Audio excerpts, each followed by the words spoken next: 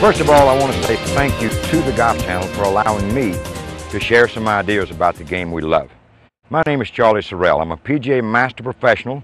I am the Director of Instruction at Crystal Lake Golf and Country Club in Hampton, Georgia. During the winter, I teach at the PGA Golf Club in Port St. Lucie, Florida. I want to divide this time into two segments. Two unique teaching devices that I developed. One called the Sorrell Color Dot Ball. The other is called the Door to Success. The reason we talk about Sorrell Color Dot Ball, we love to teach in rhymes, and we're going to throw a lot of those out to you. But if you don't know what makes the ball go left and right, up and down, you're going to have a hard time making an adjustment in your swing when you're out on the golf course playing. So let's go through the Sorrell Color Dot Ball. As you can see, this is a unique ball. It has four color dots and a black stripe. But what are these color dots for? These color dots de uh, only designate your club path, the forward direction of your club path, not club face. So let's sit this down where I can show you that. And we love to do this in rhymes because you can remember. Remember, these rhymes give you a mental cue that'll help you to remember things easier, nothing technical at all.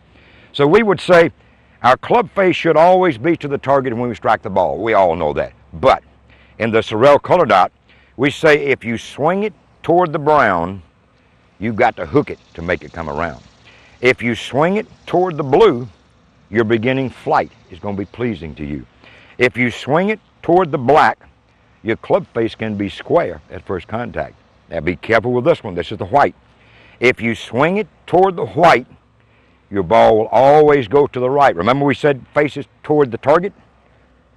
Wow. Clockwise spin going to the right. And everybody loves this one. If you swing toward the red, you're chopping and you're dead.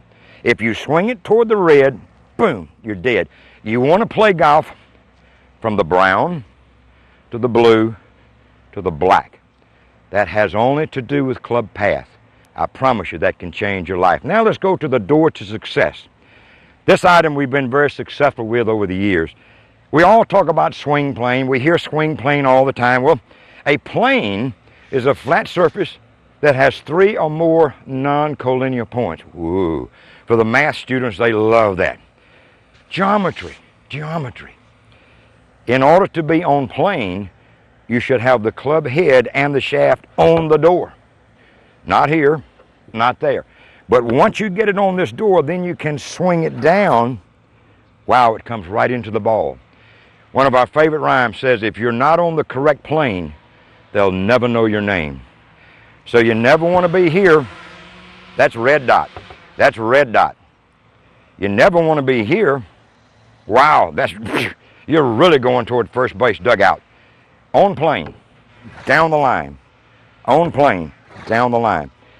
Once you can create that as a player, the four greatest words in golf are if and it depends. When you get at this segment, if the face is looking to the target when you hit it and you got the club on plane, I can assure you the ball will go nice and straight greatest understanding, the flight of the golf ball never lies. It's going to tell you the circumstances and condition of this club when it strikes it. So all I want you to learn to stand doing, swing it down, swing it down. You ask, well, what angle is this at? Basically, it's at the angle relative to my elbow when I'm in the downswing position. See how my elbow is much more in line here? And I'm going to get that club to the door. Boom. There's four parts to the golf swing. You know what they are. Backswing, downswing, forward swing, up and around swing. At the end of the downswing, regardless of how you get there, you can do a lot of stuff here, you can do a lot of stuff in here, but you got to get to this door. You got to get it on plane. You got to get the club there from this position, down, down, and then I'm going to scrape it. And when I scrape on the plane, we know they're there. See, the, the purpose of this door is where you can feel the motion of the swing. That's what this door is for. We all know about swing. We've seen the lines. Everybody talks about swing plane. But can you do it? Can you feel it? That's really important. So once I get it on the door to here, all I'm going to do is swing it forward. And let's see how it works. We got it on plane. We know we got it on plane because it's on the door. So we're coming from here, down the door, and strike the ball. See how that ball drew back a little bit? Wow. Wouldn't you like to have that in your golf swing? Remember, if you're not on the correct plane, they'll never know your name. Number two, it helps you with your backswing. We want you to swing the club somewhat in line with this door. Not really outside, not really inside, just simply on line. It gives you a reference. That's really important. Third segment, everybody wants distance, lag. What is it? How do we achieve it? And why is it important? Lag is simply a measured element from the shaft to the left arm at the end of the downswing. This is no lag, this is throwing. Lag. Again, how near this shaft is to your right shoulder has a great deal to do with how successful you will be as far as distance. You are actually getting it here. Look where my hips are aligned. And now I can turn and just sling.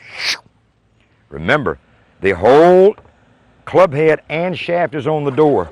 This, not this, not there, this. Now you can just sling it. Once you can time it from this position, remember, the door has to do with feel. It puts you in a position where you can't be wrong. It gets you from here to there. That's very important for you to understand as a player. The greater the lag, the less club you need to hit it to the flag. We're talking about club head speed now. Those guys that hit a 7 iron 160, I guarantee you they got lag. Those that hit it 7 iron 180, they got more lag. Big time stuff. So remember, lag is very important. I want to leave you with two thoughts. If you can't feel it, you can't do it. That's what this door is for. It allows you the feel for this. Number two, if a picture's worth a thousand words, the feeling is worth a million. See, that's all about feel. It's all about what you do as a player. My concluding thought would be, if you can't make it rhyme, get it out of your mind. It's too complicated. I love simple stuff. Remember that thought. If you can't make it rhyme, get it out of your mind.